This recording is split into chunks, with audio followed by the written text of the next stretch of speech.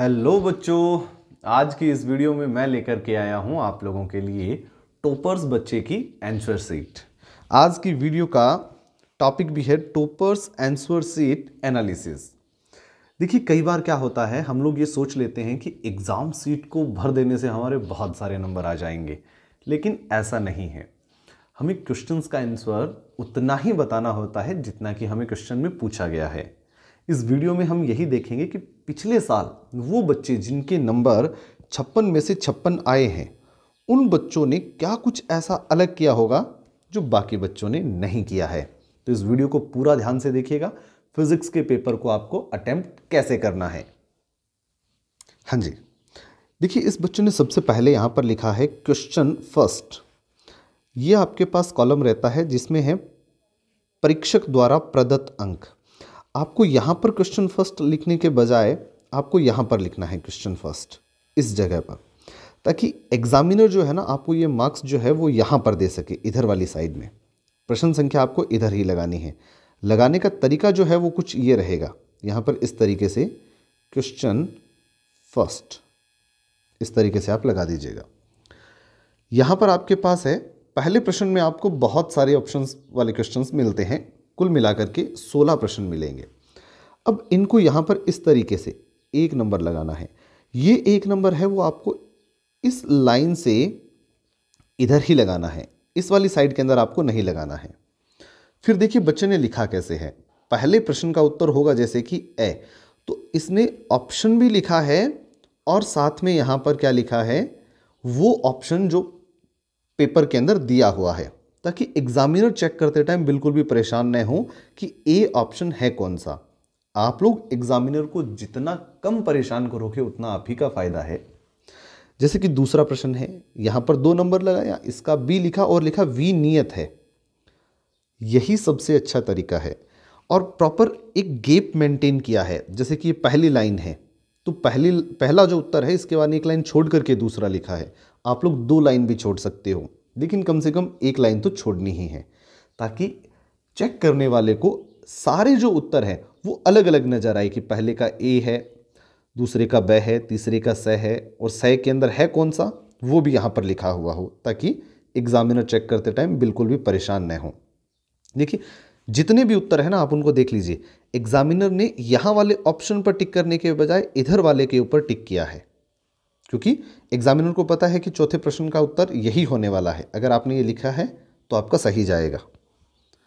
कई बार क्या होता है कि अपन उत्तर तो सही निकाल लेते हैं, लेकिन ये ऑप्शन भरते टाइम गलत भी कर देते हैं। अगर दोनों लिखे हैं तो आपको ये बेनिफिट भी मिलेगा। अगर ये आपका सही है, इधर थोड़ा बहुत गलत भी हो गया है तो एग्जामिनर का इतना ज़्यादा ध्यान नहीं जाएगा। पहला प्रश्न करने का तरीका ये है, सर। प्रॉपर गेप मेंटेन करके अच्छे तरीके से किया है। अब देखिए, यहाँ पर देखने वाली बात यह है कि बच्चे के पास कुछ चार पाँच लाइन बच गई थी। तो बच्चे ने यहाँ पर दूसरा प्रश्न स्टार्ट नहीं किया है। वो नए पेज से गया अगर पाँच छः लाइनें हैं तो कोई दिक्कत नहीं है।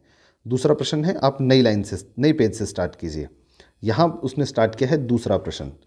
फिर से दूसरे प्रश्न में भी आपको क्या है, रिकत स्थान है। उसमें भी आपको क्या मिलेंगे सर काफ़ी सारे क्वेश्चंस मिलेंगे। ये पिछले साल की सीट है जिसमें चार ही प्रश्न मिले थे। सही तरीका क्या है? ये है सर बच्चे ने यहाँ पर लिखा है एक नंबर। और पूरा ऐसे क्वेश्चन नहीं लिखा है कि बीच में रिक्त स्थान लिख दिया है, बाकी आगे वाली लाइनें भी लिखी है। सारी लाइन नहीं लिखी, सिर्फ़ जो रिक्त स्थान के अंदर आने वाला जो स्पेस है ना, उसी को फिल किया है। साइक्लोट्रॉन लिखा है एग्जामिनर ने इसको सही कर दिया।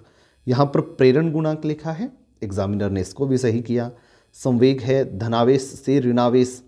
तो रिक्त स्थान वाले जो उत्तर है उनमें आप पूरी लाइन लिखने के बजाय जो रिक्त स्थान में जो भरने वाली जो उत्तर है, सिर्फ़ वही यहाँ पर मेंशन करेंगे, ताकि एग्जामिनर का ध्यान डायरेक्ट इस उत्तर पर जाए। वो पूरी लाइन लिखी होगी तो एग्जामिनर को ढूंढना पड़ेगा कि आपने उत्तर वाली जगह कहाँ लिखी है। हर एक उत्तर लिखते समय बीच में प्रॉपर गेप दिया है प्रॉपर लाइनें छोड़ी गई है। ये सबसे अच्छा तरीका है।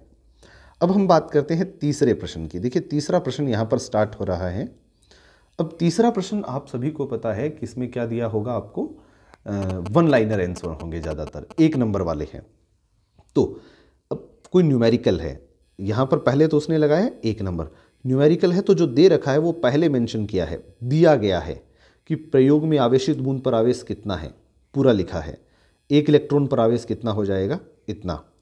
तो सर, इस तरीके से पूरा सॉल्व करके लास्ट तक लिखा है। अगर एन है इलेक्ट्रॉनों की संख्या है तो यहाँ पर उत्तर में चार इलेक्ट्रॉन लिखा है। ऐसा नहीं है कि एन बराबर चार लिख करके छोड़ दिया जाए। इसने यहाँ पर यह बताया है कि उत्तर में जो चार है, वो इलेक्ट्रॉन है। बहुत अच्छा तरीका है। हर एक देखिए, लाइन के बीच में न्यूमेरिकल अगर कर रहे हो तो हर एक लाइन के बीच में एक लाइन खाली छोड़ी गई है। देखिए यहाँ पर, ये लाइन खाली है, एक लाइन खाली है, यहाँ पर दो लाइन खाली गई है, यहाँ भी है, यहाँ भी है। उत्तर लिखने का यही सबसे शानदार तरीका है। आपके पास ऐसा नहीं है, कॉपी बहुत बड़ी होती है तो बहुत छोटा छोटा एक लाइन के अंदर दूसरी लाइन घुसा देना, ऐसी वाली गलतियाँ बिल्कुल मत करना। फिर चलते हैं हम दूसरे पर। इसने तीसरे प्रश्न का ही दूसरा यहाँ पर मेंशन किया है, पूरा एकदम, ठीक है? पहले यहाँ पर थियरी लिखी है थियरी के बाद में देखिए एक लाइन छोड़ी है, फिर यहाँ पर फॉर्मूला लिखा है। और फॉर्मूले के लिए यहाँ पर जो कंडीशन है, वो भी लिखी है कि आर का मान बड़ा है ऐसे इसी तरीके से देखिए नेक्स्ट तीसरा। यहाँ पर छोटी छोटी इसने गलतियाँ की है, आपको ये गलतियाँ भी नहीं करनी है। तीसरा प्रश्न है, अर्धचालकों की प्रतिरोधकता ताप बढ़ाने पर घटती है। अब यहाँ पर पूछा होगा कि अर्धचालकों की प्रतिरोधकता पर ताप बढ़ाने से क्या प्रभाव पड़ता है? ठीक है तो घटती है फॉर्मूला लिखा है पूरा, फिर विश्रांति काल तक को एक्सप्लेन किया है कि जब एन का मान पहले से कम हो जाएगा तो विश्रांति काल का प्रभाव नगण्य होता है। प्रॉपर एकदम, जो भी फॉर्मूला आया है, देखिए, उसको एक कोष्टक में बंद किया है। बहुत अच्छा तरीका है ये। फिर यहाँ पर, ये क्षण में गलतियाँ क्या हुई है? इधर लिख दिया गया था पहले उत्तर, यहाँ पर उत्तर नहीं लिखना चाहिए। प्रश्न की जो संख्या है, वो इधर ही लिखनी चाहिए। बड़ा जो प्रश्न है, जैसे अगर कोई तीसरा प्रश्न है, वो यहाँ लिखिए, अगर तीसरे का पहला पार्ट है तो वो इस साइड में। दूसरा पार्ट है तो वो इस साइड में इस तरीके से आपको करना है। ये देखिए डायग्राम कितना शानदार है। एकदम दिशाएँ यहाँ पर दिखाई हुई है। किधर की तरफ़ आ रहे हैं, किधर से जा रहे हैं, सब कुछ इस तरीके से। फॉर्मूला आया है तो फॉर्मूले को यहाँ पर एक बड़े ब्रैकेट के अंदर बंद किया हुआ है। इसके बाद में देखिए, यहाँ पर है प्रिज्म से रिलेटेड एक ग्राफ आया है कि विचलन कोण विचलन कोण और आपतन कोण के बीच में ग्राफ ड्रॉ करना है। सबसे पहली चीज़ जो महत्वपूर्ण है, वो है सर ये जो आप ग्राफ बनाते हो ना यहाँ पर। यहाँ पर जो आप ग्राफ बना रहे हो ये वाला। तो सर इस ग्राफ में यहाँ पर एरो लगाना बिल्कुल ना भूले दोनों साइड में। एरो लगानी ज़रूर है। फिर ये जो एरो है, वो डिनोट किसे कह रही है? तो यहाँ पर बताया गया कि इस साइड में आपतन कोण लिया गया है एक्स अक्ष पर और वाई अक्ष पर लिया गया है विचलन कोण डेल्टा। फिर ये ग्राफ बनाया गया है। तो ग्राफ बनाते समय दिशा, ये एरो और ये नाम लिखने की नाम लिखना बिल्कुल नहीं बोलना है। यहाँ देखिए डायग्राम है। बहुत अच्छा डायग्राम बनाया है। पूरा एकदम संधारित्र की दोनों प्लेटें बनाई गई है। किन प्लेटों पर ये पहली प्लेट है, ये दूसरी प्लेट है, एक पर माइनस चार्ज एक पर प्लस चार्ज विद्युत क्षेत्र की दिशाएँ दर्शाई गई है। बहुत अच्छे से मेंटेन किया है। ठीक है? देखिए पूरा एकदम थ्योरी आई है। चित्रानुसार, ऐसे शब्दों का प्रयोग करना बहुत अच्छा रहता है। ठीक है? दिया है, चित्रानुसार, इसलिए। पूरा एकदम पहले बताया है कि दूरी पृथककरण दूरी कितनी है, धारिता कितनी है, माना प्लेटों पर आवेश क्यों है, फिर चित्रानुसार, थोड़ी थियोरी लिखी है डेरिवेशन को बिल्कुल लाइनें छोड़ छोड़ करके लिखा है ताकि एक एक लाइन क्लियर हो लास्ट तक। यही तरीका आपको अपनाना है। देखिए, यहाँ जा कर के डेरिवेशन पूरा हुआ है। एग्जामिनर को चेक करने की अगर आप देखोगे ना? देखिए, इस लाइन पर उसने एग्जामिनर ने ध्यान दिया है। फिर समीकरण एक से मान रखने पर ध्यान दिया है धारिता की परिभाषा से। अगर आपने उसको पूरा एकदम ध्यान से लिख रखा है उत्तर को एग्जामिनर का ध्यान बहुत अच्छे से आपकी कॉपी पर जाएगा। एक जो बहुत इंपॉर्टेंट चीज़ होती है, वो होती है आपकी राइटिंग अगर आपकी राइटिंग अच्छी है तो ये आप लोगों के लिए एक पॉजिटिव पॉइंट रहने वाला है। देखिए, किस तरीके से पॉजिटिव पॉइंट रहेगा? तो ऐसे रहेगा कि आप कुछ ऐसे कर रहे थे, जैसे इसी वाले क्वेश्चन की हम बात कर लेते हैं। आपने यहाँ से स्टार्ट किया है। आप लिखते गए, अगर बाई चांस बीच में यहाँ पर कोई मिस्टेक भी हो गई है ना तो भी एग्जामिनर इतना ध्यान नहीं देगा। क्यों नहीं देगा? एग्जामिनर का इस कॉपी के अंदर एक फील बन चुका है। वो एक फील ऐसा आ चुका है कि ये बच्चा सही तो लिख रहा है तो उसका गलतियों पर इतना ज़्यादा ध्यान नहीं जाता है। एग्जामिनर ने इस लाइन के बाद में यहीं पर टिक लगाया है। अगर इन दो बीच वाली लाइनों में थोड़ी बहुत मिस्टेक हो भी जाएगी तो भी कोई दिक्कत वाली बात नहीं है। राइटिंग अच्छी है तो ये आपको बेनिफिट ज़रूर मिलेगा। अब आप कहोगे, सर, कुछ बच्चों की राइटिंग तो अच्छी नहीं होती है। फिर वो क्या करेंगे? घबराने वाली बात नहीं है। देखिए, एक डिसेंट राइटिंग में आपको लिखना है। जो आपकी प्रॉपर राइटिंग है, बस थोड़ा एग्जामिनर को ध्यान में आता रहे कि आपने लिखा क्या है। थोड़ा बहुत अगर राइटिंग के अंदर ऊपर नीचे है तो भी काम चलेगा। हिंदी इंग्लिश का पेपर नहीं है कि आपकी पूरी राइटिंग पर ही ध्यान दिया जाएगा। अगर आपने कंटेंट सही लिखा है तो कहाँ दिक्कत है सर? थोड़ा बहुत राइटिंग ऊपर नीचे हो भी गई है तो भी कोई दिक्कत नहीं है।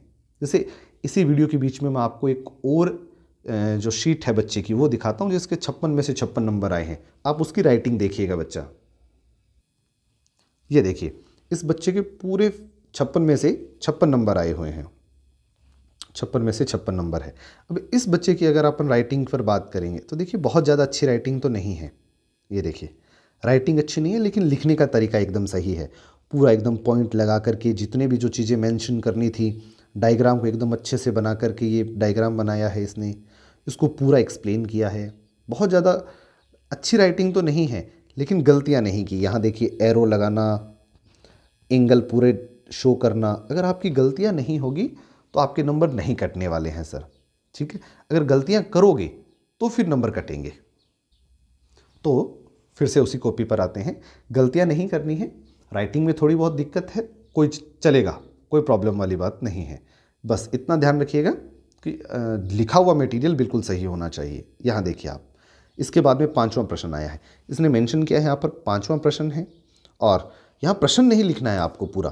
प्रश्न लिखने वाली गलतियाँ बिल्कुल मत कर देना। सिर्फ़ डायरेक्ट एकदम उत्तर लगाया आपने, क्वेश्चन नंबर फाइव, उसका आंसर, और स्टार्ट कर दीजिएगा। अब देखिए, न्यूमेरिकल को सॉल्व किया गया है, सर। एकदम शानदार। गेप दे करके, लास्ट के अंदर, न्यूमेरिकल के अंदर क्या किया गया है? ये देखिए, यहाँ पर मात्रक लगाया गया है, बिल्कुल छोड़ा नहीं गया है। कोई जो एक्स्ट्रा चीज़ें हैं, और ये भी देखिएगा। अगर गलती हुई है तो एकदम बहुत प्यार से इसको कट करना है इस तरीके से। ऐसा नहीं है कि सारे जज्बात बह जाएँ और गलती का ऐसे कत्ल ही कर दो आप। इस तरीके से यूँ नहीं काटना है, सर। ये वाला काम बिल्कुल मत कर दीजिएगा। कत्ल कर दिया है ना गलती का, एग्जामिनर आपकी कॉपी का कत्ल कर देगा, सर। बहुत प्यार से। अगर ये लाइन गलत है तो आप इस तरीके से गलत कर दीजिएगा। एग्जामिनर समझ जाएगा कि हाँ बच्चे से थोड़ी मिस्टेक हुई है। आगे देखिए। न्यूमेरिकल को एकदम दो तीन पेज में लेकर के गए हैं, फिर जाकर के आंसर आया है। और एग्जामिनर ने अगर आप चेक करने वाली बात पर ध्यान दोगे ना, इस पूरे पेज को देखिएगा। अगर बच्चे ने पहले से स्टार्टिंग में सीखे तो एग्जामिनर का एक फील आया है, इस पूरे पेज पर यहाँ पर सिर्फ़ एक गुड लगाया है। अगर इससे पहले वाले पेज की बात करोगे यहाँ पर दो जगह गुड था।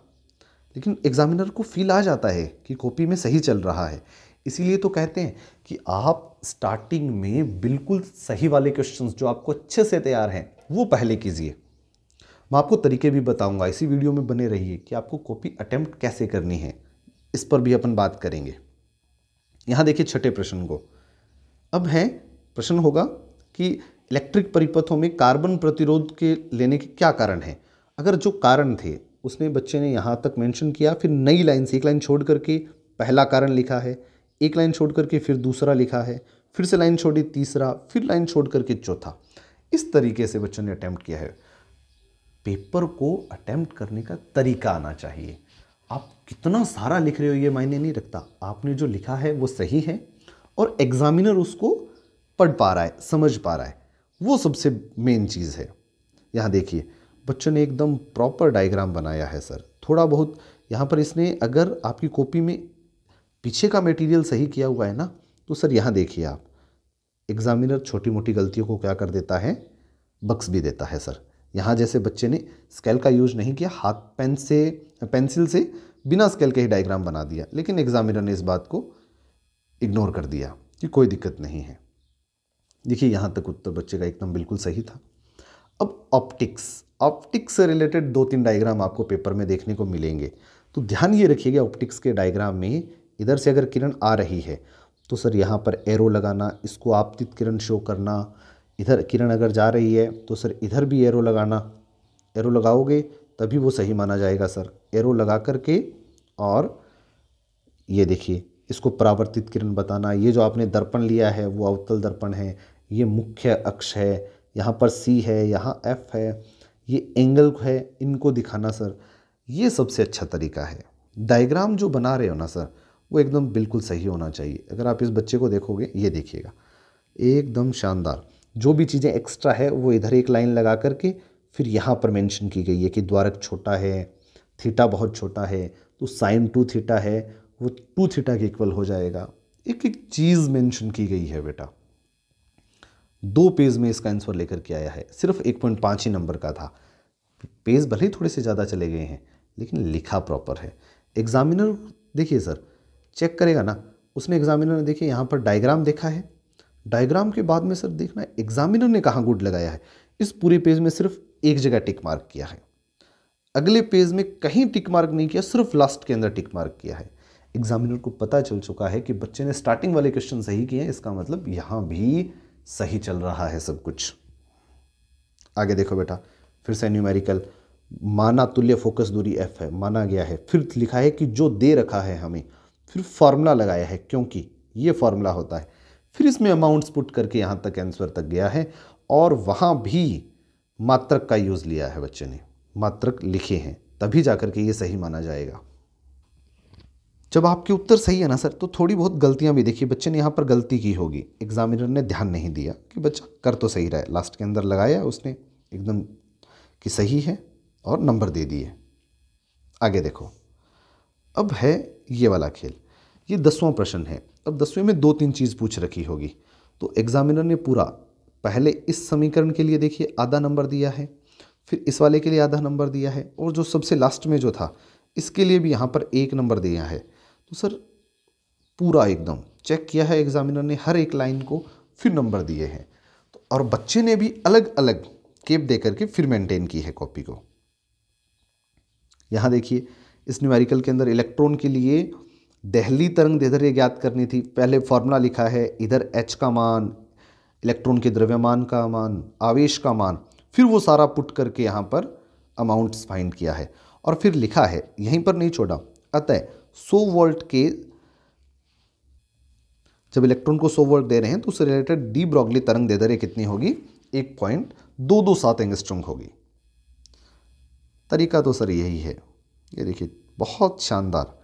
अब यहाँ पर एक छोटे से मान में बच्चे से गलती हुई है, ठीक है? तो वो भी एग्जामिनर ने उसको कोई दिक्कत नहीं है, बच्चे को प्रॉपर नंबर दिया है। यहाँ देखिए, अगर नाभिकीय बल के अभिलाक्षणिक गुण पूछ रखे हैं, बच्चे ने यहाँ पर तीन गुण लिखे हैं तो तीनों के अंदर आधा आधा नंबर एग्जामिनर ने दिया है। छोड़ना नहीं है सर, जो भी चीज़ आपसे पूछ ली जाए ना, वो आपको एकदम पूरी लिखनी है सर, कहीं दिक्कत नहीं आनी चाहिए। डायग्राम अच्छे से बनाने हैं। सारणी, ये तो देखिए टॉपिक हट चुका है, लॉजिक गेट का है, पिछले साल था।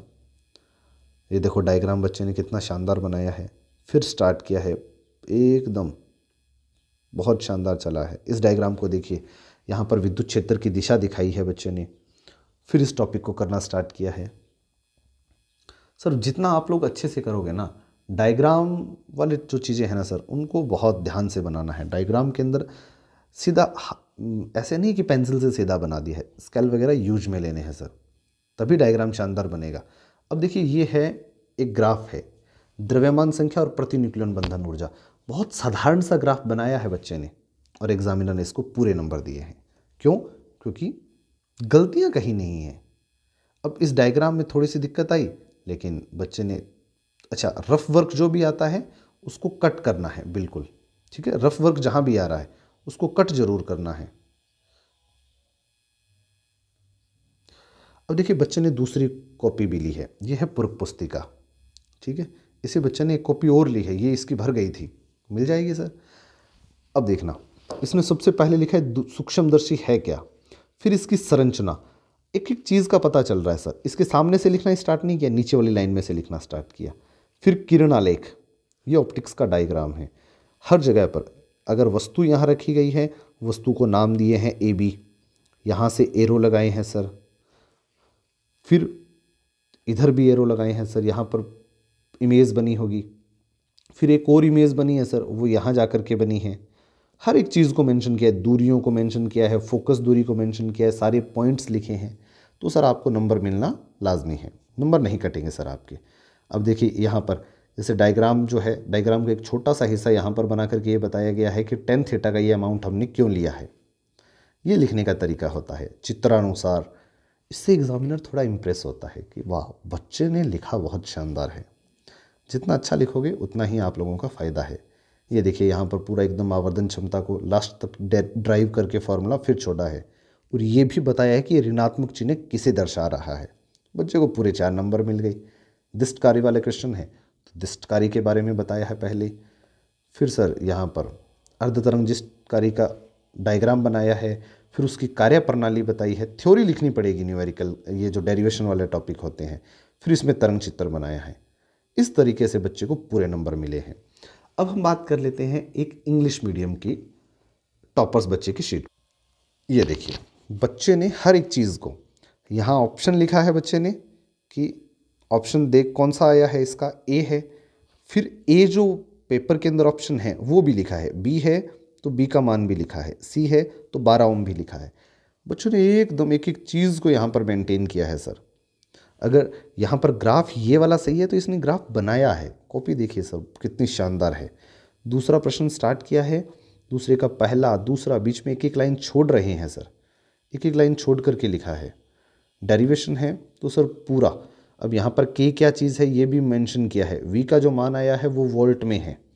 ठीक है? मात्रक भी लगाया गया है सर एकदम प्रॉपर सर कॉपी देखिए सर एकदम आनंद आ रहा है कॉपी जब आप एग्जामिनर चेक करेगा सर उसको भी पता चलेगा कि कॉपी के अंदर दम तो है।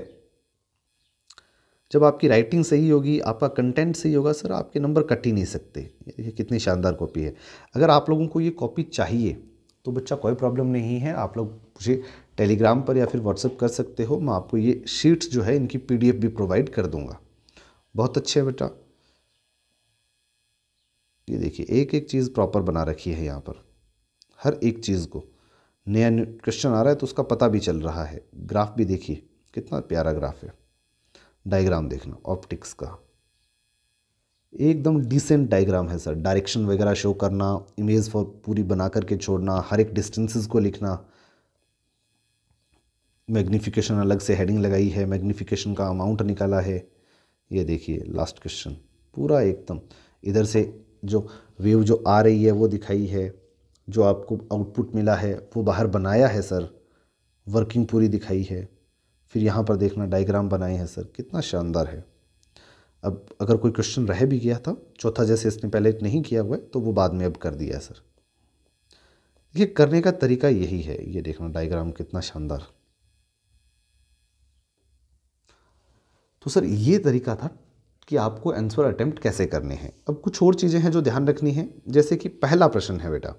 आपका जो पहला प्रश्न है, आपने इस तरीके से पहले की हेडिंग लगाई है, फिर यहाँ से लिखना। ये है फ़र्स्ट का फ़र्स्ट होने के बाद में आंसर पूरा हो गया तो एक दो लाइन छोड़ करके यहाँ पर दूसरा, फिर यहाँ पर तीसरा। इस तरीके से आपको सोलह तक चलना है। अब आपको पहले प्रश्न का सोलह के सोलह है ना, वो एक साथ करने ऐसा नहीं है।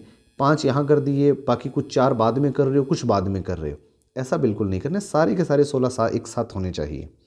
दूसरे प्रश्न में जितने भी है रिक्त स्थान, वो सारे एक साथ करने हैं। तीसरे प्रश्न के सारे के सारे एक साथ करने हैं।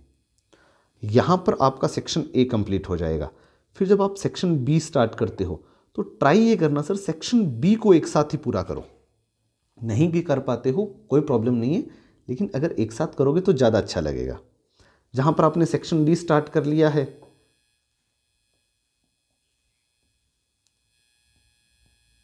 सेक्शन डी स्टार्ट कर लिया तो उसको पूरा करना सर उन्नीसवां और बीसवां प्रश्न दोनों करना। उन्नीसवां हो गया, फिर बीसवां हो गया। इसके बाद में भले ही आप सेक्शन ए करने के बाद में सेक्शन डी भी कर सकते हो। वो प्रॉब्लम नहीं है। लेकिन आगे पीछे अगर हो भी जाए, जैसे क्वेश्चन नंबर चार से बीस तक अगर कोई आगे पीछे हो रहा है तो कोई प्रॉब्लम भी नहीं है वैसे तो। लेकिन पहला, दूसरा और तीसरा, ये एक साथ करना सर ठीक है? पहले के सारे के सारे एक साथ, दूसरे के सारे एक साथ, तीसरे के भी सारे एक साथ होने चाहिए। तभी सर वो दम आपको कॉपी के अंदर दम नज़र आएगा। कि इस कॉपी में कुछ तो है। अब बात करते हैं बच्चों कि इम्पोर्टेंट क्वेश्चन की जो वीडियो है, वो मैंने अपलोड कर रही कर रखी है यूट्यूब चैनल पर। आप वो सारे क्वेश्चन तैयार करके जाइएगा एग्ज़ाम में। इसके अलावा, अगर आपको चैप्टर वाइज हिंदी और इंग्लिश मीडियम दोनों में छोटे क्वेश्चंस की पीडीएफ चाहिए तो आप लोग मुझे व्हाट्सएप कर सकते हो, मैं आपको सेंड कर दूँगा। ठीक है? इसके अलावा, मैं ट्राई कर रहा हूँ न्यूमेरिकल के वीडियो की भी। प्रॉमिस नहीं कर रहा हूँ, लेकिन मैं पूरा ट्राई करूँगा। कि आप लोगों के लिए एक वीडियो न्यूमेरिकल पर भी लेकर के आऊँ मैं। तो ठीक है बच्चों, जिन बच्चों ने यूट्यूब चैनल को सब्सक्राइब नहीं किया है, वो यूट्यूब चैनल को सब्सक्राइब कर लीजिएगा। सब्सक्राइब कर लीजिएगा और जिन बच्चों ने टेलीग्राम चैनल ज्वाइन नहीं कर रखा है, वो टेलीग्राम चैनल ज़रूर ज्वाइन कीजिएगा। वहाँ पर आपको कंटेंट मिलेगा सर ठीक है बच्चों, आज के इस वीडियो में बस इतना ही। मिलते हैं एक नई वीडियो के साथ। तब तक के लिए गुड बाय टेक केयर